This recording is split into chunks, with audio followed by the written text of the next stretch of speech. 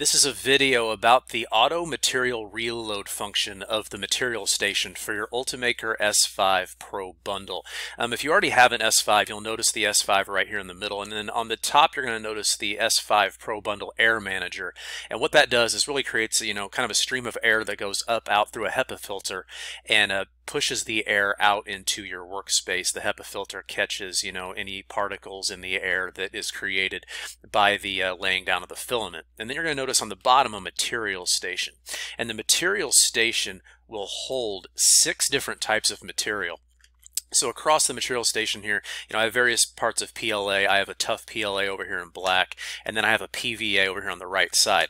One thing you'll notice down here on the bottom is that there are two different inserts for the material, a 1 and a 2. And a 1 goes, in this case, to my double A nozzle, and the 2 goes to my double B nozzle. So if I'm printing with two different types of material, I can basically say what material goes to what nozzle based upon how I insert this into the material station.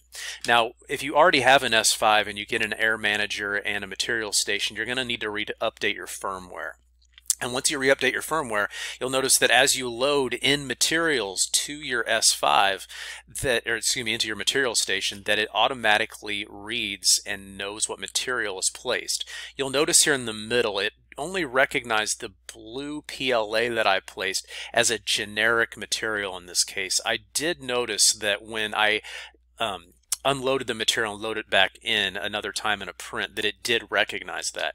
So you can obviously go in here and see how much material you have left. I mean, you can tell that I have a full tough PLA roll over here. And then over here on the left-hand side, you can see that I'm pretty much almost empty of my black PLA. My blue PLA here in the middle is, you know, almost out. And you can kind of read that here, although it didn't recognize that from the question marks that you see in this case. Now, when you're almost out of material, your Ultimaker is going to automatically sense that you're out and it's going to start a changing material function. So I created a short video here and I'll kind of scrub through. You'll notice this video is about 10 minutes long. I'm not just going to play it, but you're going to notice that on the LED screen, it's noticing that it needs to change material. And the Ultimaker will automatically, you know, kind of go to a home position and it's going to heat up that nozzle until it's ready to eject material. And as I drag through here, you notice I kind of waited and waited a little bit. This will take about, I don't know, roughly, you know, a minute or two but you're going to have to wait. You're not, you're not like, there's nothing that went wrong. It's not like frozen, but you're going to have to wait for it to heat up the nozzle to the point where it can eject the material and it's going to automatically start ejecting material for you. So you can see it going down the nozzle in the tube. And as we come down to our material station, you can see it's going to wind itself around one of the clear plastic rolls and automatically it's going to sense what material to load next based upon what print you put into Cura for it to print. So if I would have asked for silver PLA and I had two rolls, it would automatically detect that silver PLA to be loaded. So you can see it slowly coming off and back onto the roll. Um, if you have a large print like I've had before, you know, before I had this material station, when I had large prints, you know, in the middle of the night, it would just stop and I would have to come back in in the morning and reload material. And you would notice kind of that like thin line on a large print when you would come back in and see the material kind of that restart point. You don't really have to worry about that as much with your uh, material station with your S5. You're going to see it slowly start to load up the back of the nozzle I can kind of fast forward just a little bit here. I kind of think you can kind of get the point. As it's loading, it's going to come in.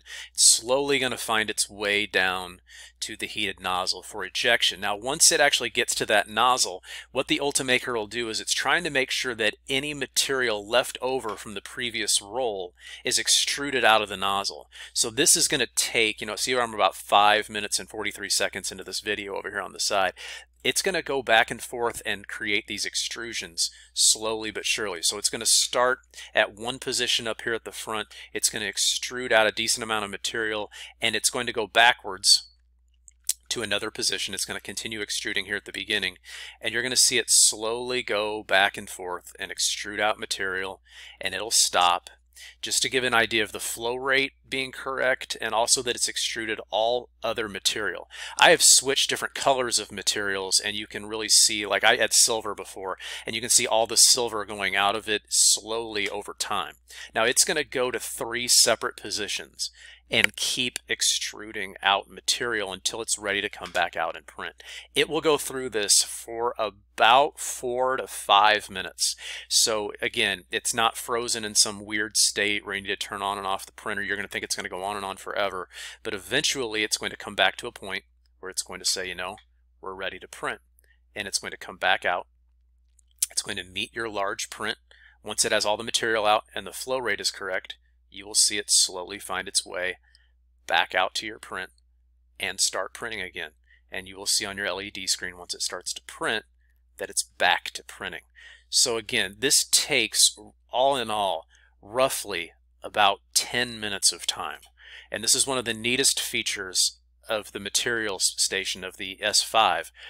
The fact that it will automatically switch for you and you don't have to switch rolls on the back. This is the exhaust fan on the back of the air manager that again is creating that flow. Um, there's a filter that you'll have to change, you know, how based on how many prints you do.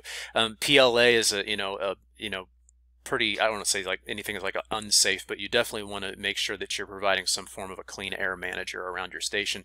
I also have an air manager and, uh, you know, air cleaning station in my classroom as well for the other 3D printers that we have.